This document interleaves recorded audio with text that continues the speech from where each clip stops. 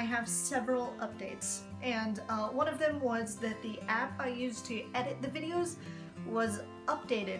And uh, it's got fun new editing things that should make editing videos a lot easier, um, which is great because editing videos being a pain kind of made it harder for me to do them, especially while being busy preparing for a baby and a lot of other things. So obviously a lot further along now, um, only about a month to go, uh, and we're just really excited. A lot of work has been going into getting the nursery ready. I'll show you around there a little bit. And um, also my hand has been healing. I uh, didn't do a vlog about it, but I cut my hand really badly a few months ago and had surgery to repair the tendon etc., uh, etc. Et but it's been healing up immensely. I'm so grateful to God for that, and I'm able to bend it. Uh, and um, I've got little, you know, exercises and workouts to do to keep regaining ability with it as it heals without stressing the tendon too much. So still can't really use my left hand very much without the thumb, but um, I will get there. And hopefully soon, hopefully before the baby comes. So that's the goal and really looking forward to that.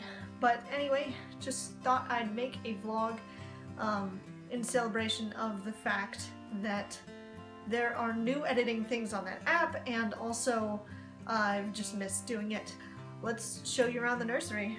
Hi, so here's the nursery. We've got the crib and some really cute wall decorations. Um, there's a little Lewis sign that my sister uh, painted. Um, my sister-in-law got it for us and uh, sister painted it and Drew and I made the backing to it um, from scratch sorta. It was pretty awesome. Um, that went well. Nice dresser. There's still some stuff lying around that we're working on um, and a nice changing table with everything needed and a blindingly bright light to light up the entire room which is great. So anyway, uh, that's the nursery um, for now. Still a couple things we need to put together, etc., but it's exciting and uh, it's adorable, and I love it. Especially Anyway, thought I'd end it in this glider because this glider is ridiculously comfy.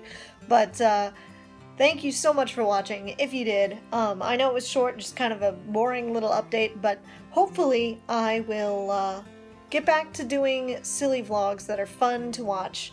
Um, I'd love to do more of that, and I know uh, Baby Coming Soon is going to be a little crazy, but I want to continue doing vlogs um, when I have Lewis, because uh, I just want to um, want to capture some some moments with him and, and, and get get a little bit of him on camera. So I am so excited to meet this baby. Um, can't wait for you guys to meet him too. And uh, I just hope that you all have an amazing day.